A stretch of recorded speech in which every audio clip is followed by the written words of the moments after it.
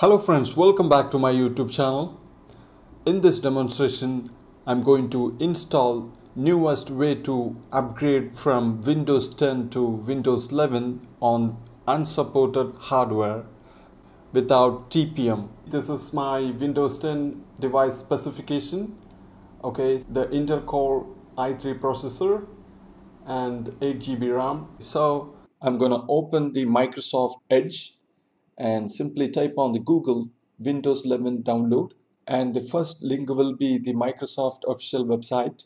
And click on the Windows 11 and scroll down the website. Here you can see Windows 11 disk image ISO and click on the select download and click on Windows 11 multi-edition ISO then click on download and then select the product language. And here you can choose your language. I'm gonna select English United States and confirm. And click on 64-bit download and the Windows 11 ISO is ready. You can download. I'm gonna select the ISO and right click and click on mount and open. So once you complete this go to the this PC and here you can see the Windows is mounted okay so I'm gonna open this copy all the files. On the C drive create a new folder and type Windows 11 and open the folder right click and paste. And now the all Windows 11 files is copied in the C drive the Windows 11 folder. Then after that click on the start menu and type cmd and right click on the command prompt run as administrator. And then enter the command c colon backslash windows 11 and backslash setup dot exe space forward slash product space server and hit enter.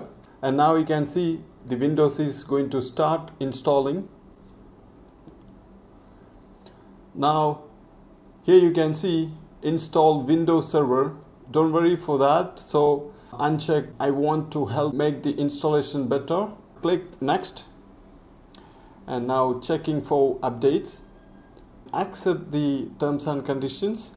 On this window keep file settings and apps. And second keep previous files only and nothing so I recommend keep file settings and apps so you don't lose any data alright then click next. And now getting updates. This may take a few minutes so we need to wait until updates complete. And now ready to install. So I'm going to click install